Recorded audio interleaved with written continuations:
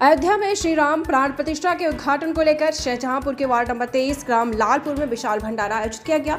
भंडारा नियम, आपको बता दें, निमंत्रण में पार्षद सिद्धार्थ शुक्ला ने कन्या भोज कराकर दक्षिणा भी दी गाँव के बड़े बुज़ुर्ग भी उपस्थित रहे।